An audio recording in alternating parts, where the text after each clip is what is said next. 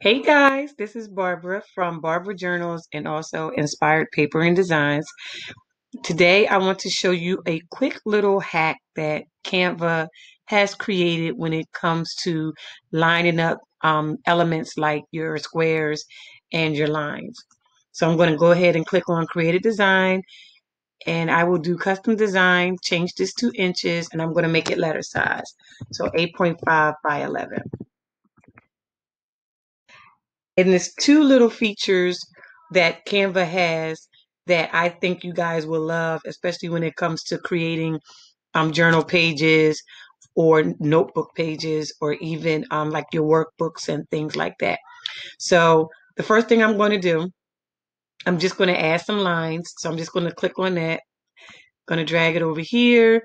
No certain order. Um, I will pull it in a little bit in case if you ever want to make the line, see how thick it is. If you ever want to make it thinner, just pull it up in the corner and you can do that. So I'm just going to um, drag it out to, let's make it about here. And then I'm just going to, um, I'm going to move it down a little bit just for purposes of seeing the video. I'm going to copy a couple.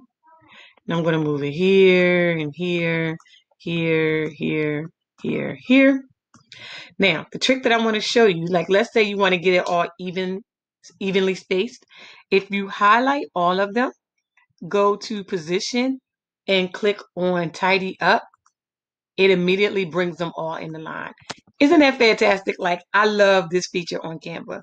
If you do not have this feature, it may be because it's only available in the Pro. Um, if that's the case, if you click the link below this video, you will be able to try Canva Pro for free for 30 days. But I think, especially if you are really serious about designing notebooks, journals, and planners, the cost of the monthly fee for Canva Pro is more than made up just by this making your life so much easier. Sorry about that. Because it already makes it even for you. All you have to do is tidy it up. So then another little feature I want to show you too. If you go to file, they have rulers, mark, rulers, guides, and margins. So your ruler, of course, is right here. So it's just showing you basically um, where your lines may fall. So see, and then you can actually drag this over. So you can see that that's 0.496. So if that's what you were going for, then you want to make sure that this is the same. Like you want to make sure that this falls in line with this, that it matches evenly.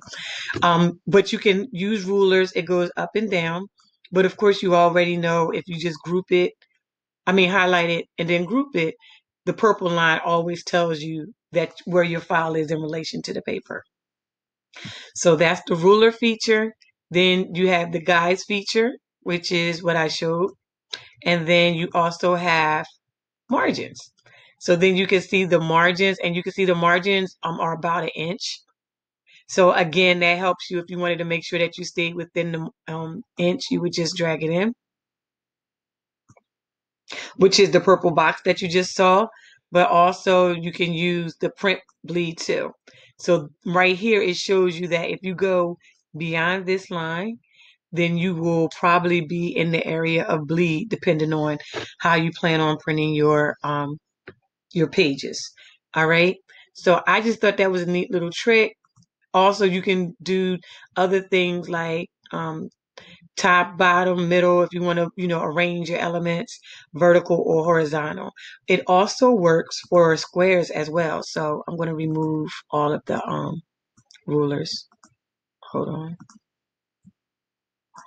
So when it comes to like say for making your calendar and you want to use the squares, if you go inside here, pull it in. So let's say you wanted to use it to make squares. I'm just going to make a couple.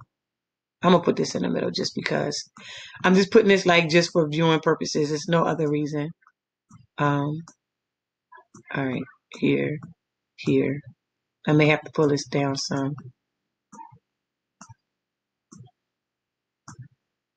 All right.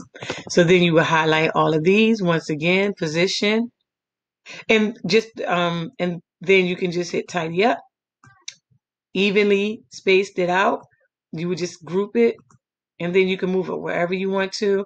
If you want to make it smaller, just drag it up in the corner. It'll keep it all the same size.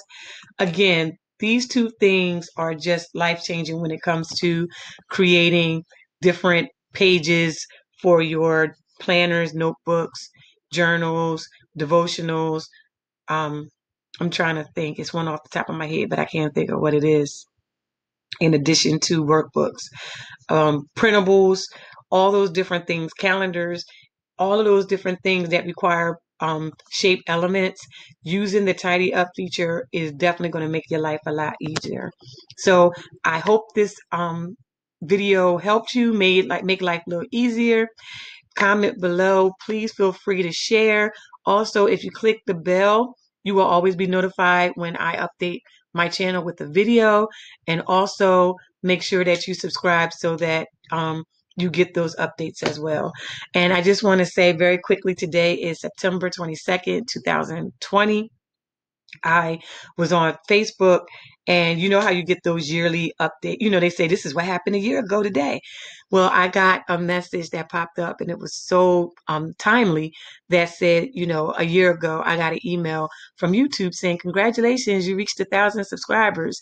And now thanks to you guys supporting me and always watching my videos, I am up to a little over 8,000 subscribers. So thank you guys so much for supporting, whether it was watching the video, sharing the video, leaving an encouraging word. All of those things let me know that you guys want me to continue to make videos like this to help you get your um, business off the ground. All right. Thank you guys so much. Have an amazing day and talk to you soon.